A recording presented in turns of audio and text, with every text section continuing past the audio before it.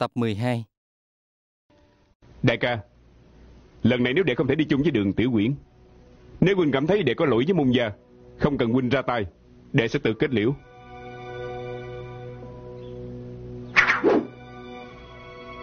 Tàn kiếm sơn trang này không còn một đệ tử như đệ. Đệ đi đi.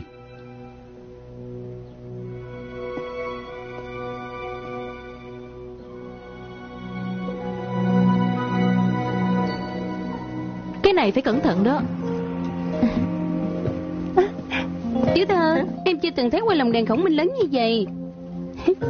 Cô coi nè. Thật là Lồng đèn này vui đẹp thiệt. Được rồi. Ê, coi kìa. Đẹp quá.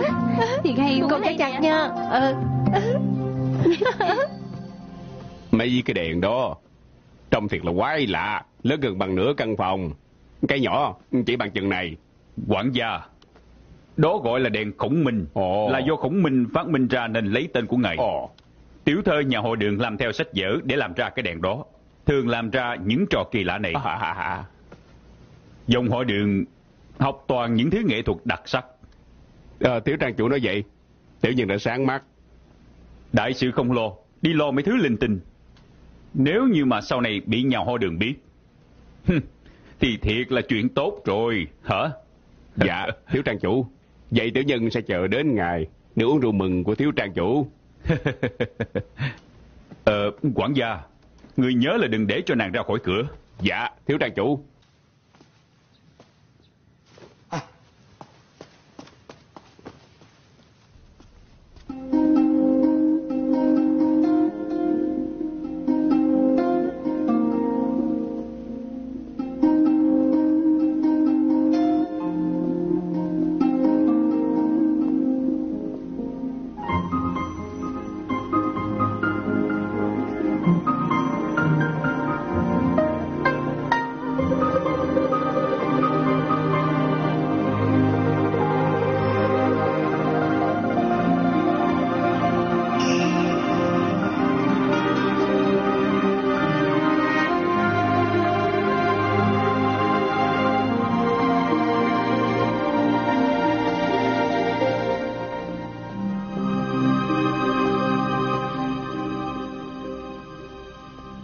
Như không phải con nhà đầu này phát hiện chất độc. Tiểu tử Diệp Phàm đã bị chúng ta hạ gục rồi. Đa chú Tiểu nhân thấy con nhà đầu này cố ý chống đối với ngài Hay là để tiểu nhân đối phó với nó? Ngươi đừng nhiều chuyện. À phải. Ngươi thấy kiểu cách của cổ nhìn ta Là có ý gì? Tiểu nhân cảm thấy cô ta hình như rất ghét ngài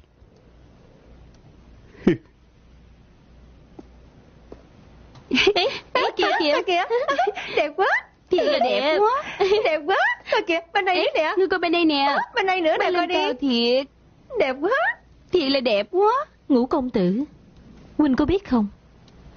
Ta vẫn luôn đợi Huynh Đèn khổng minh này Theo gió bay tới bên chàng. Tới một nơi Sẽ thuộc về hai chúng ta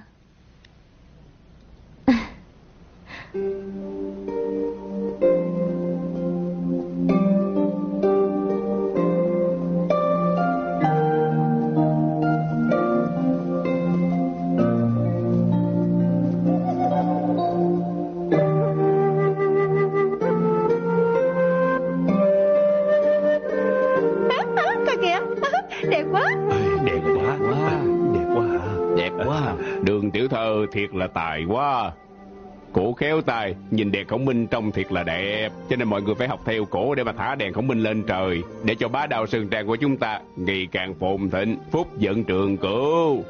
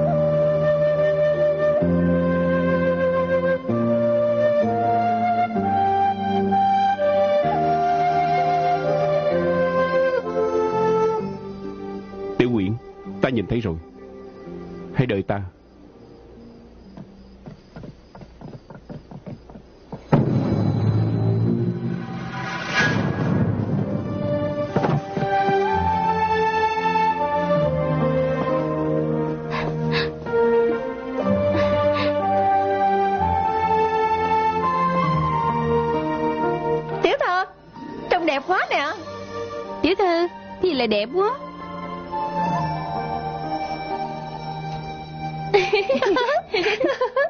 Các người hãy đi về trước. Dạ. Dạ ừ.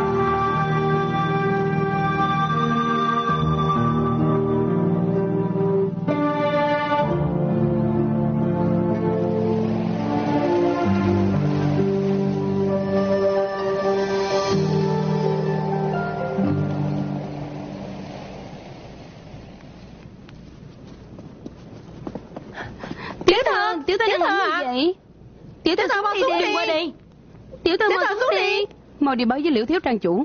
Không được đi. Các người quỳ xuống hết cho ta. Tiểu thư Tiểu thư Tiểu thư Tiểu mau xuống đi. Xin tiểu thư mau xuống đi mà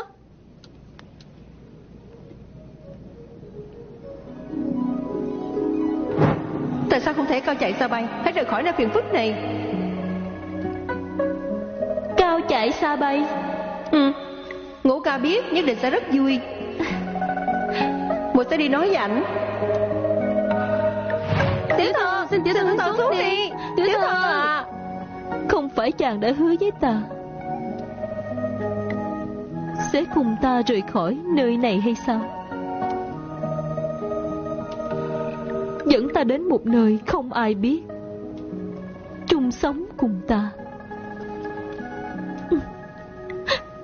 Sống những ngày thật bình thường nhưng hạnh phúc. Tại sao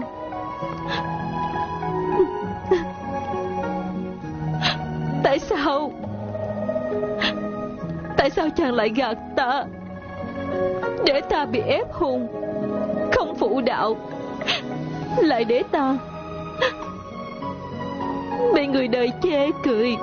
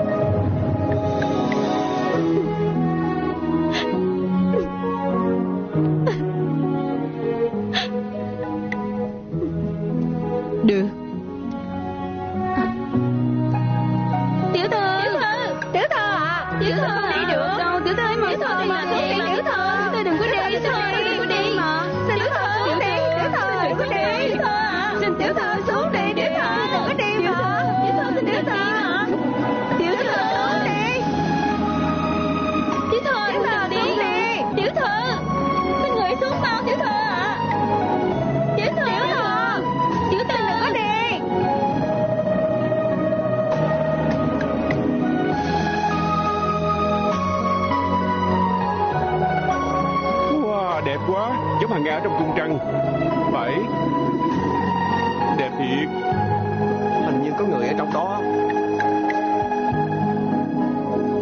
Wow, đẹp quá Giống hàng Nga ở trong cung trăng Phải, ở trong ta đó. chưa bao giờ nhìn thấy đó. Đẹp Đúng thiệt. là hàng Nga. Quyển Giống hệt như là hàng Nga trên cung trăng. Tiểu Uyển Ờ, ờ thiếu gia. Tiểu trang chủ Thiếu gia. Tiểu trang chủ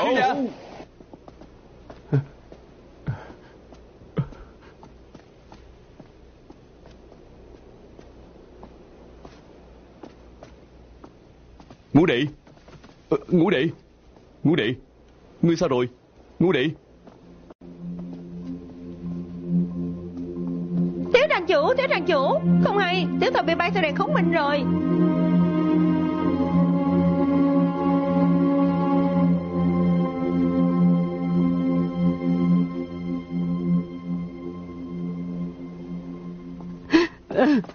Mẹ Mẹ không sao chứ Con vừa được tin lập tức qua đây ngay.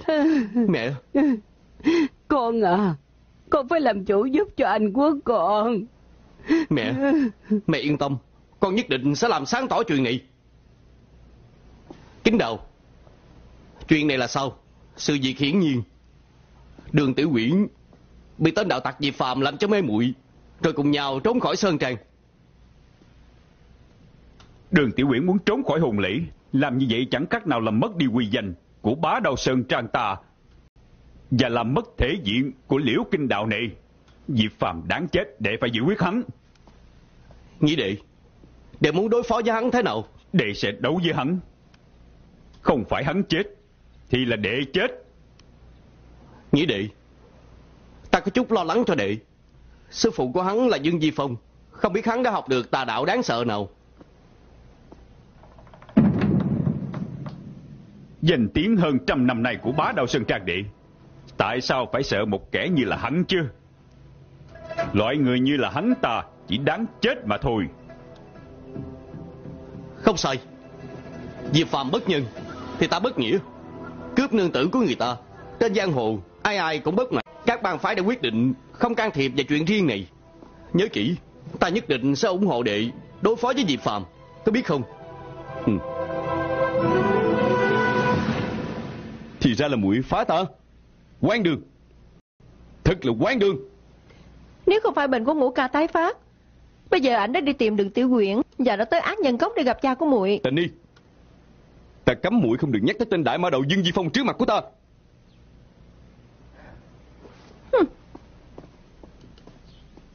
Cha muội không phải đại ma đầu Hắn là cha của muội sao? Muội có phải là con cháu của nhà họ Diệp không? Mùi không muốn làm con cháu nhà họ Diệp. Mũi.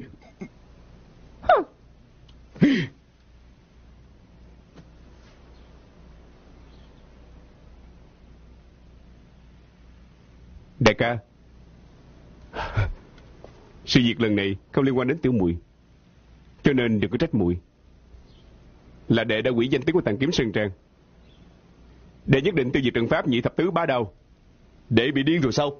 Nên biết trận pháp này. Kính Đào đã từng ra tay, đánh bại đệ một cách dễ dàng. Bây giờ đệ có mối thù sâu sắc với hắn. Hắn tuyệt đối không bao giờ nương tay cho đệ đâu. Đệ làm vậy đâu khác gì hy sinh mạng của mình. Đệ muốn dùng cái chết của mình Để rửa sạch ô danh cho tàn kiếm Sơn Trang Mong huynh tội nguyện Không được. Ta không thể để cho đệ làm chuyện khờ khảo như vậy. Ngũ đệ, hãy hứa với ta. Hứa với ta là đệ không bao giờ làm chuyện khờ khảo này.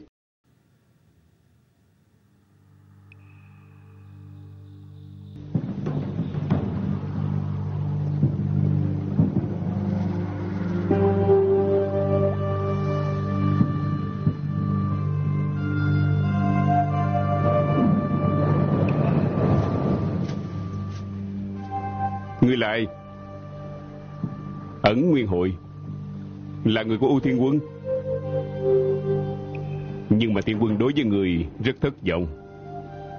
Chuyện của đường Tiểu Quyển Do ta làm không có tốt. Người hiểu thì được. Ngày mai trong trận chiến với bá đao Sơn Trang Người nhất định phải thắng. Chỉ cần người thắng Mới có thể đứng trong giang hồ. Ta biết.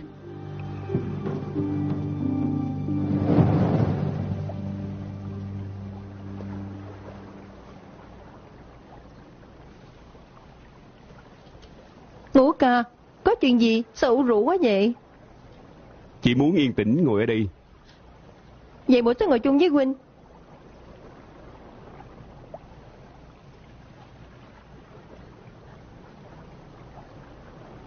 Muội đang nghĩ, có phải chuyện này chúng ta thật sự đã sai, đặc biệt là muội. Không liên quan tới muội. Chuyện quan trọng nhất bây giờ của chúng ta là lấy lại sự công đạo. Nói rõ âm mưu của Lý Diệm và Triệu Du Kỵ.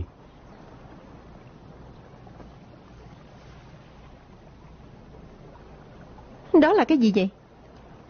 Trước khi sư phụ đi, đã đưa cửu thiên quyền ngọc cho huynh. Vậy là huynh muốn nhờ vào miếng ngọc này để đánh bại kính đào. Không thể được. Tại sao? Ý nghĩa của cửu thiên quyền ngọc là mong thế giới thật sự hoàn mỹ. Và tác dụng của nó chính là hoài niệm này. Huynh không muốn vì chuyện của huynh và kính đào làm tiêu hủy nó. Ngũ ca, ngày mai muội sẽ đi cổ võ cho huynh.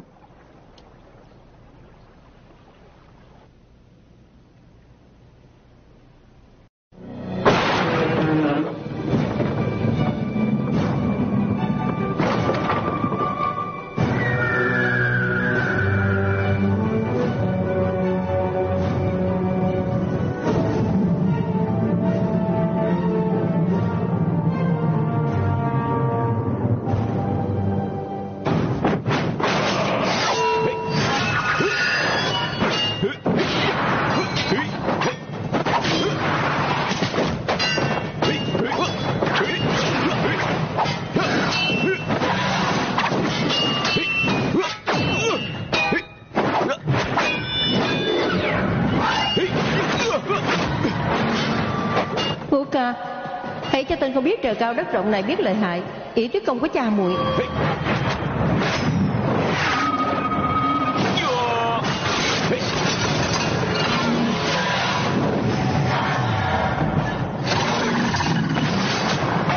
Ý tức công của đại ma đầu Dương Di Phong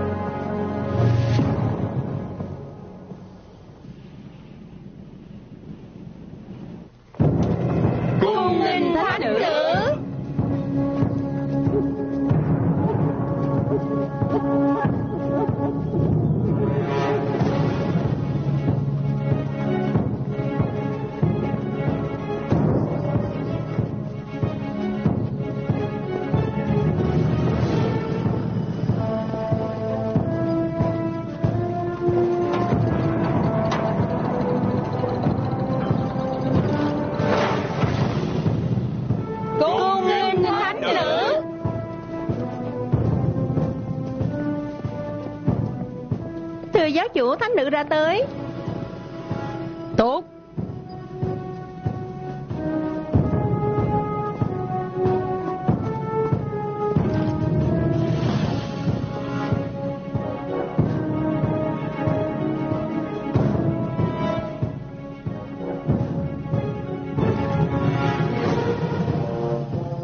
Đưa thánh nữ vào trong cung cho ta Cho mời tổng đại chủ của hội phi Nga và cho mời tổng đại chủ bên quả túc Để cùng tham gia nghi thức của thánh nữ Dạ. Thiệt là hay quá. Ngũ ca, Quỳnh rất là lợi hại, đã đánh bại nhiều cao thủ trong võ lâm rồi. Ai cũng thua trong tay của Quỳnh. Thật ra thì không ai có thể đánh bại Quỳnh. Lần trước, quản Chính Đại Sư nói Quỳnh, cả đức nghệ đều khiêm tốn. Trong võ lâm sẽ là một vị lãnh đạo phi phàm. Nếu cha muội được tận mắt nhìn thấy sẽ rất vui. Muội đang khen ngợi Quỳnh đó, Quỳnh có biết hay không? Trong lòng của ngũ ca, chỉ muốn rửa sạch ô nhục cho tàn kiếm Sơn Trang. Thật ra cái gì mà lãnh đạo võ lâm, đối với Huynh mà nói, không có ý nghĩa gì hết. Nè, với Quỳnh đây đúng là không có là gì hết. Mới khen Quỳnh vài câu, Quỳnh đã mừng đến nỗi muốn bay lên trên. Nếu Quỳnh thật sự là minh chủ của võ lâm thì... muội đó Chỉ biết vui chơi thôi Xảy ra chuyện lớn gì cũng không biết Nó xảy ra chuyện gì? Có câu nói rất là hay, kêu binh làm tướng. Phí lời.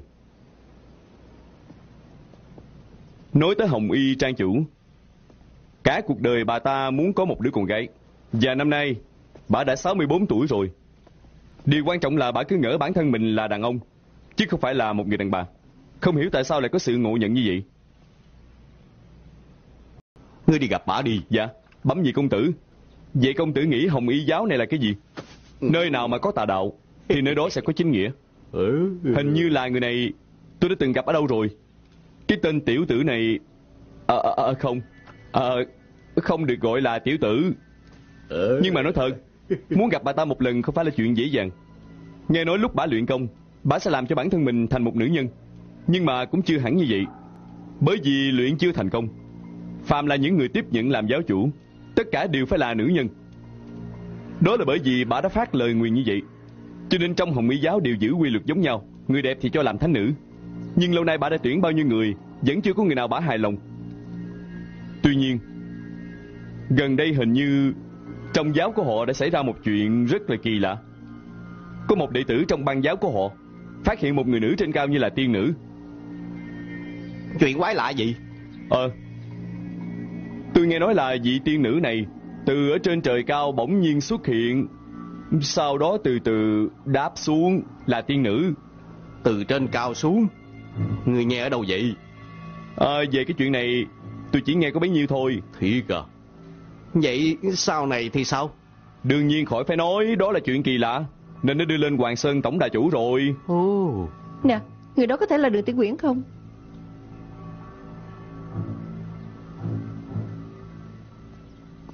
Ừ.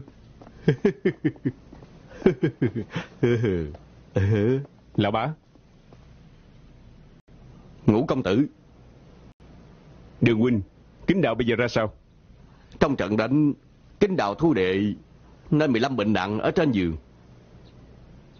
Đã gây nhiều phiền phức cho bá đau Sơn Trang Thật là có lỗi Ngũ công tử, yên tâm đi. Về chuyện này không ảnh hưởng tới giao hữu của tam đại gia tộc. Cáo từ. Ngũ ca, chúng ta đi. Công tử Hai mình qua bển xem thử.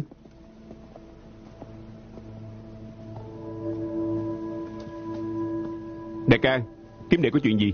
Ngũ đệ Có gì tiền bối này muốn gặp đệ. Chỗ ở của lão tiền bối Tại sao không có một người nào canh gác Ngoại trừ một ai đó đã chán sống Mới dám tới đây phá sự thanh tịnh của lão bá. Thưa tiền bối Ngũ đệ của tôi Diệp Phàm đã tới rồi. Diệp công tử không cần phải khách khí Mời ngồi. Dạ. Ngũ đệ.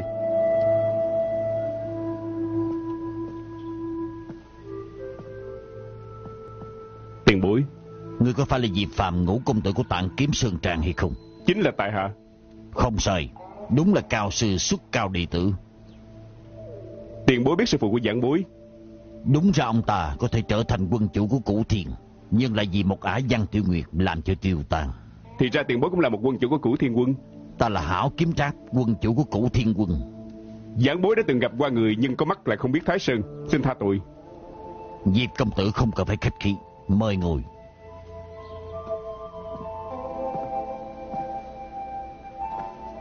hạ đại loạn Và mọi việc đều từ cửu thiên mà ra.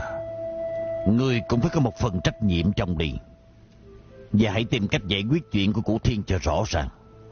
Giảng bối không nghe lầm chứ? Trong thiên hạ này không thiếu bá chủ. Nếu đã làm vua thì Nên có khí chất của vua Cửu châu đại hào Là vua của một tộc Lấy thiên hạ làm trọng Thuận theo quy tắc của cửu thiên. Nếu ai nhận làm giáo chủ cửu thiên Đều phải là người ở trong hoàng tộc. Khi mà cửu thiên lên làm quân chủ Thì đó là cửu thiên lý diệm. Nhưng mà lý diệm không thể nào hiểu được đạo lý của cửu thiên. Nếu không phải vì lẽ đó Độc trưởng môn cửu thiên Đã sớm thành công rồi. Sư phụ cũng đã từng nói qua chuyện này. Thiên quân đã lâu không lo tới thế sự rồi Nhưng mà thật sự không may Quảng Ngọc Hộ Thần lại rơi vào trong tay của Phương Cung. Phương Cung đã trốn ra khỏi đảo Hiệp Khách, lấy danh là Công Ngạo, hiệu là Thập Nhị Liên Hoàng, đã làm hại Trung Nguyên nhiều năm. Bây giờ Công Ngạo đã chết rồi, Quảng Ngọc lại lọt vào tay của tân đà chủ Triệu Vô Kỵ. Nên nói Thập Nhị Liên Hoàng Đạo đang trong tay của Triệu Vô Kỵ là một nguy hại lớn, lại không biết hắn ta có dụng ý gì. Với những người có tâm địa hiểm ác như vậy, tuyệt đối sẽ không chịu quy phục trước người khác. Cho nên còn phải cẩn thận mới được. Đa tạ tiền bối đến thức hậu bối. Biến thiên quân thần là một người có tâm địa khó đoán. Nhất định là đến đây tạo nghiệt, quỷ diệt mù phái. Ngoài cổ thiên với quảng ngọc hộ thần, không biết những cái còn lại còn lưu lạc phương nào. Con nên chịu khó tìm kiếm, xem âm dương khí của những miếng ngọc đó có bị phá vỡ hay không. Dạ. Nhưng con có thể sẽ gặp phải một cản trở lớn, đó là Quảng Thiên Quân Lý Phức. Đó là một con người rất xảo quyệt. Sau khi hắn trở thành trưởng môn, nhưng lại rất bạc tình bạc nghĩa, lại không màng lợi ích của cụ thiền, rồi sau đó không biết ẩn danh ở phương nào. Ta vốn hiểu rõ cổ thiên binh, diện mạo của đại đường Sơn Trang. Lúc hiểm họa sắp xảy đến, ta nhất định sẽ xuất môn để hỗ trợ cho con. Người thân thuộc mà giảng bối biết.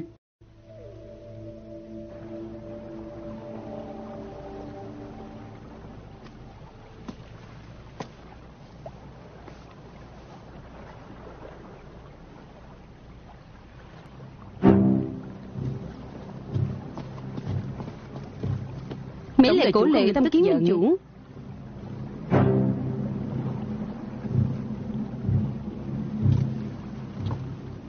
Tổng đại chủ không nên tức giận. Diệp Phàm này hay thiệt Ba ngày không gặp mà mọi thứ không như ta nghĩ. Không ngờ mấy chiêu thức của hắn Lại có thể hạ được trận pháp của bá đầu. Chưa tới ba ngày Đã có thể thuyết phục được tất cả trưởng lão. Cửu dương gia cũng đã biết được tình hình ở đây. Các người không phải giao lệnh nè Vậy các người hẹn ta tới đây để làm gì? Trong trang không tiện. Các người ngoài việc biết chuyển giao mệnh lệnh Còn biết gì nữa hả Nọc độc của ta Tại sao lại không có công hiệu? Đừng nhắc nữa. Vũ văn địch đã xử lý không tốt. Làm chút gì cũng không xong. Thì là đáng tiếc. Loại nọc độc đó là bản lĩnh lợi hại của ngũ độc giáo chúng tôi. Đừng có phí lời. Ta biết hôm nay các người tới đây Nhất định có biện pháp khác mà. Đương nhiên có. Ta biết là cửu dương gia Muốn giết một người Sẽ không phái khúc dân cô nương tới đây đâu. Khi đã phái cô tới đây Nghĩa là đã có cách hay Tổng đại chủ anh Minh Chúng ta nên sớm trừ khử Diệp Phàm. Nhưng kế sách của ta đã dùng hết Trừ khử cách nào? Bổn cô nương có một loại thuốc mới. Loại thuốc này có công dụng giống như nọc độc. Cách dùng của loại thuốc này Là cần tổng đại chủ phải ngậm nó trong miệng. Lúc nói chuyện với hắn Lực thuốc sẽ biến thành thể khí và phun vào người của hắn. Không mùi không màu Không biết được và cũng không có cảm giác.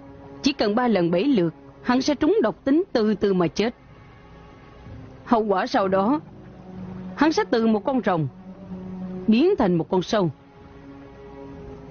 Có ý nghĩa Nhưng ta đang nghĩ Nếu ta cũng trúng loại độc này Không phải là từ một con rồng Biến thành con sâu sao? Khúc dân cô nương không phải đang nói chơi với ta chứ? Bốn cô nương không dám. Tổng đại chủ là thuộc hạ của cửu dương gia Là trợ thủ đắc lực nhất. Ồ Nói như cô Nhất định là có thuốc giải. Tổng đại chủ thì là thông minh. Màu đỏ là thuốc độc Màu xanh là thuốc giải. Nhớ là phải phun độc hướng thẳng về phía hắn Sau đó bản thân mới uống thuốc giải. Hy vọng đại chủ dạng sư đại cát. Kế hay kế rất hay. Coi bộ kế này còn dễ hơn nọc độc. Từ nay trở đi Tổ tông 18 đời của ta và hắn sẽ từ từ hàng nguyên. Các người đi trước đi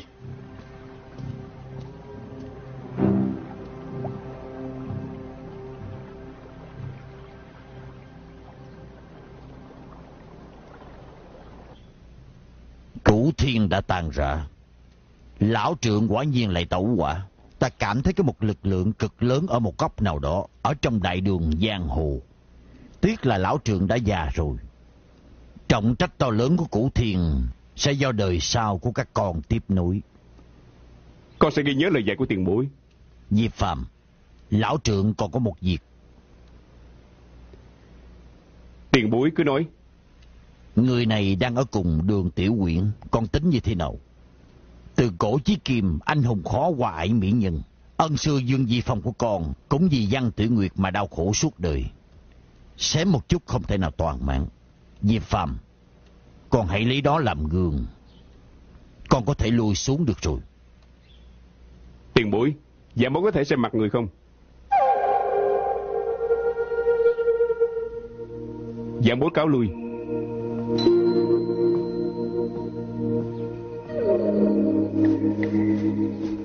Tiểu muội muội ở đây làm gì? Còn phải hỏi, muội không muốn nhân người mù ở đây, Huynh bị người khác âm mưu hãm hại cũng không biết. Ai? Hmm. Muội không muốn nói cho Huynh nghe. Nếu thật sự có chuyện, muội cũng đừng nên nói giỡn. Ngũ ca, những gì muội làm cho Huynh cũng là gì tốt cho Huynh, Huynh có tin không? Đương nhiên, Vậy thì tốt. Chuyện này Huynh không cần lo. Khi mà Huynh biết ai muốn hại Huynh, khi Huynh đối diện với người đó nhất định sẽ không được tự nhiên. Cho nên muội nghĩ, việc này cứ giao cho muội. Muội bảo đảm người đó sẽ không hại được Huynh mà còn tự hại bản thân. được.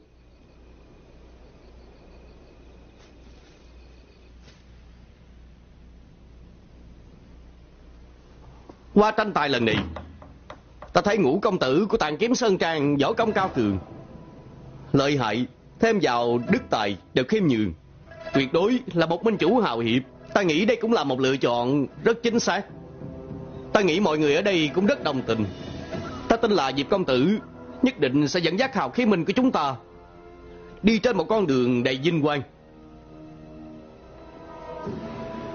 Dạng bối bất tài, không gánh nổi sự mong mỏi của Võ Lâm.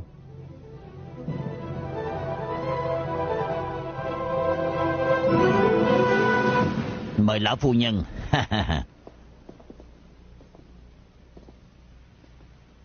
Ai...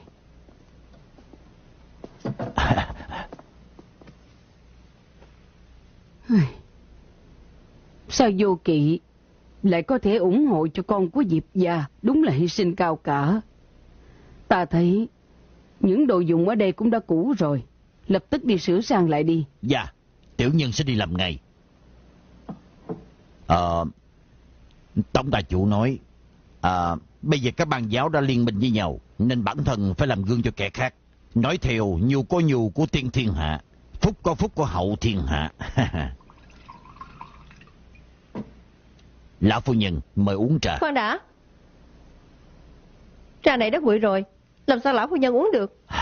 Đại tiểu thư, ờ, trà, trà nóng này mà. Người biết cái gì? Bao tử của lão phu nhân không tốt, nguội một chút cũng không được. Đi đổi bên khác đi. À, à, à, được, lập tức đổi ngay. Cái con nhà đầu này đúng là biết cách khiến cho người khác vui.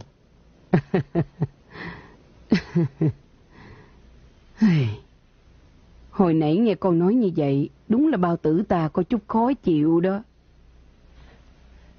Phu nhân, vậy con vào trong coi coi, có cái gì để đem qua giúp người làm ấm bụng hay không? Cũng được. con đi đi. Hay da, cũng là nghĩa nữ tốt hơn.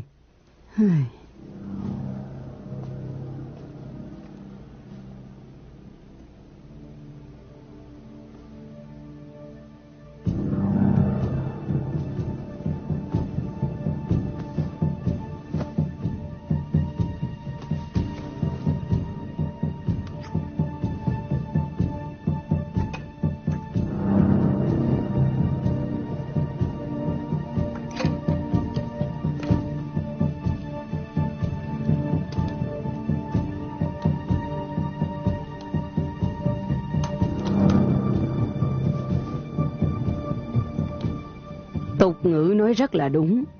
Con gái là cái gối của mẫu thân. Tình y à, hay là con ở lại bá đào Sơn Trang cùng với lão phu nhân đi, hả? Nếu lão phu nhân thích, dĩ nhiên con nguyện ở lại giúp phu nhân. Vậy thì tốt quá rồi.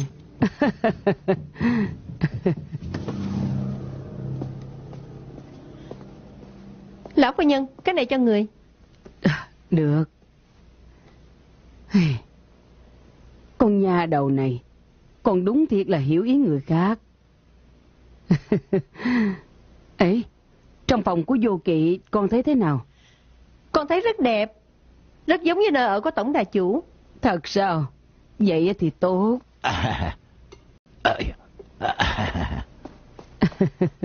Lão phu nhân, À. tiểu nô tiếp đãi người không chu đáo.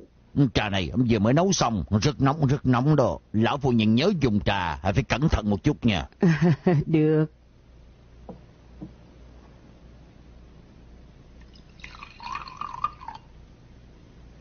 Lão phu nhân, mời từ từ dùng. À!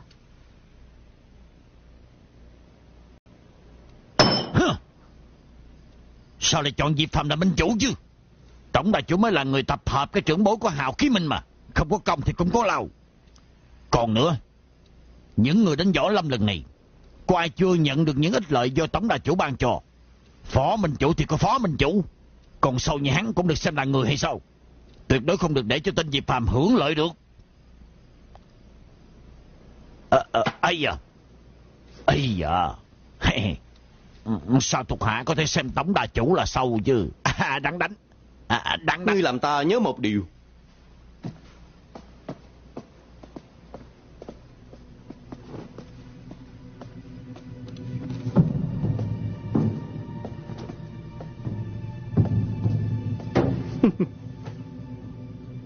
Sâu cũng là người. Diệp công tử, ta sẽ chơi với người tới cùng. Ngồi xuống đi. Ngồi xuống. À, à, Hỉ, À. mễ lệ cổ lệ và khúc dân, ngươi đã an bài cho họ chưa? tổng đà chủ yên tâm. Họ đã đột nhập vào trong đại dinh của thập nhị liên hoàng. Đến ngay cả thần tiên cũng không phát hiện ra. Ừ, vậy thì tốt. Không tới ba ngày, họ nhất định sẽ báo cho mình một tin tốt. Nhưng mà trong thời gian này, ngươi phải bảo vệ họ cho đàng hoàng. Đừng để họ bị phát hiện, có biết không? Dạ. Anh à, còn về tịnh y bây giờ thế nào? Ờ, ờ, ờ, cái con nhà đầu đó. ờ, Cái gì mà nha đầu này nha đầu kia, lần nào cũng kêu là nha đầu là sao? Không hỏi ngươi nữa, ngươi đúng là ngu mà. Ta lặp lại thêm một lần, đó là Diệp Tịnh Y, đại tiểu thơ của tàn kiếm Sơn Trang. Ta không nhắc lần nữa, biết chưa? Hả? Được, bốn cô nương có một loại thuốc mới. Loại thuốc này có công dụng giống như nọc độc. Cách dùng của loại thuốc này cần tổng đại chủ phải ngậm nó trong miệng. Lúc nói chuyện với hắn, lực thuốc sẽ biến thành thể khí và phun vào người hắn. Diệp Phàm không biết và cũng không có cảm giác. Hậu quả sau đó, hắn sẽ từ một con rồng biến thành một con sâu.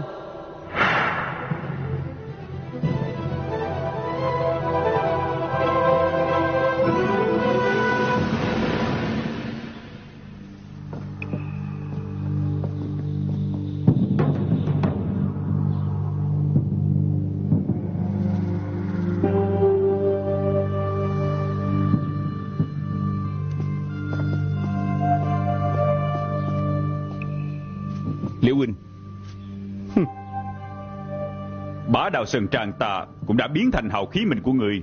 Có lẽ người rất là mãn nguyện.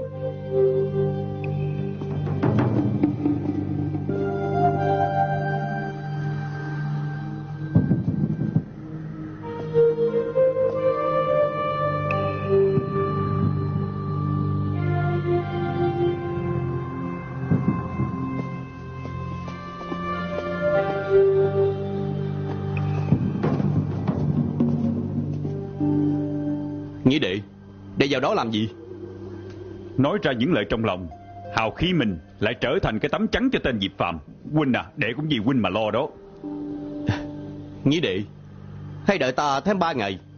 Tới lúc đó sẽ coi ai lấy được đại đào, kim đào, ngồi lên cái ghế minh chủ của hào khí mình. lên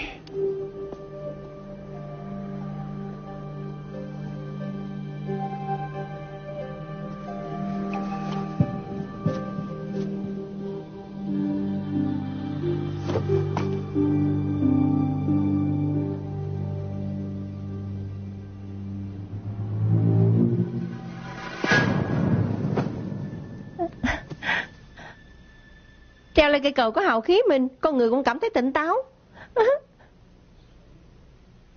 Ý, mùi thấy ở đây nên thêm một cái thùng xâm.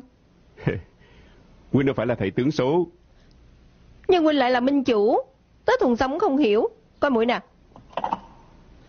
Triệu Vô Kỵ nghe lệnh. Lệnh cho đội tập nhị liên quan của anh lập tức đến trấn Kim Thủy, giải cứu quân ta, tiêu diệt phản tặc. Tiếp lệnh.